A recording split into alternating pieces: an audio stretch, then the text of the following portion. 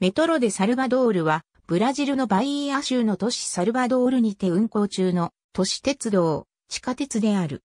サルバドールメトロとも言われる。正式名称は、シーステマメトロビリオでサルバドル・イーラウロでフレータスである。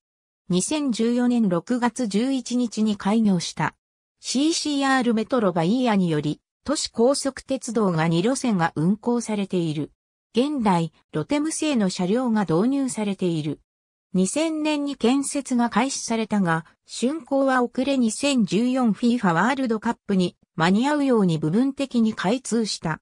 1号線は2014年6月11日に開業。ブロタス駅では FIFA ワールドカップの会場となったサッカースタジアムのアレーナフォンチノバに接続している。2号線は2016年12月5日に開業し、ディユタード・ルイス・エドワルド・マガリアエス国際空港までの延伸区間が建設中であり、2017年中に完成予定となっている。地下区間は1号線のラパ駅とカンポダ・ポールボラ駅の2駅 1.24km のみである。